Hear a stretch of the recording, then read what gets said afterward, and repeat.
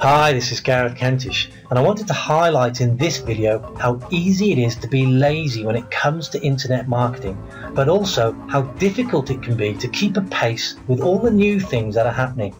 Now if you run multiple revenue streams to support your online business, such as eBay, Amazon, your own online shops, even managing Facebook groups and creating your own products, it can be, well, like spinning plates and therefore life can be somewhat of a blur. So the message in this video is to recognize the importance of focus. You may run multiple revenue streams, but it's vitally important that each of these streams represent your business in the best possible light. No shortcuts. And in this video, we're going to focus on eBay. And as I've said so many times before, eBay is nothing short of awesome. Not just for selling your products, but also as a marketing tool for your online business in general. But oh, things have changed. In the good old days, one could apply basic techniques to attract viewers to your listings. Using keywords and metadata were the norm to increase your listing exposure. Well, believe it or not, these old techniques can potentially penalize your listings when it comes to ranking. There are new rules on the block and we need to be aware of them. So what are they? Well, there was this famous astronomer called Cassini back in the 17th century. Now he may not have known much about the internet, but it seems that eBay have named their search algorithm after him, and the question is why. Well, with the increased competition, especially from Amazon, eBay has had to focus more on the buyer to make the sell through ratio higher, and we'll cover that later. From the point that the potential buyer enters text into the search box the Cassini search engine kicks into action. Firstly, it starts to marry up the search text with your product details, but other criteria now comes into play, such as the price of your product and how long the product has been listed on eBay.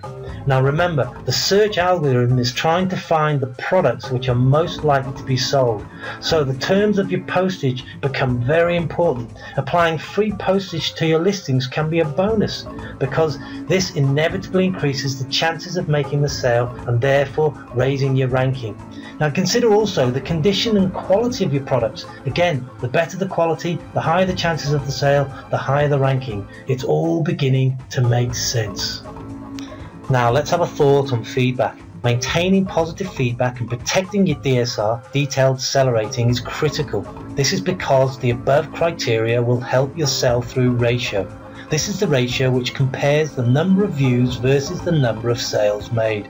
So having a stack of views and no sales could therefore penalise your ranking.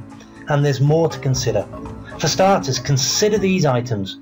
Make sure you confirm and understand the eBay rules. Ignorance is no excuse. And extend your returns policy. Why? Because it will make your items more attractive for sale and therefore improve your ranking. And list viable items. This will give your listings relevance to your potential buyers. And the results will be that your listings will have higher rankings and appear on top where they should be. Now, you may also need to sort out basic issues, focus on improving your DSR and resolve any outstanding claims immediately. And if you do receive unjust feedback, then ask the eBay customer support team to remove it from your records. It can be done. Remember, an unhappy customer will tell between 8 to 20 people about their experience with your business. It's unnecessary bad PR. So in summary, offer free postage and introduce discounts, and extend your return policy. All these things will help your rankings. Here's a question for you. Are good till cancels going to improve your list rankings? The answer is simply no. Unfortunately not. What needs to be done here is relist. Cassini prefers new items as they get re-indexed into the search algorithm. And what about using HTML in the item description? Now I'm a big fan of using code, but I avoid taking huge chunks from web pages because Cassini frowns upon this. Be effective and keep it simple.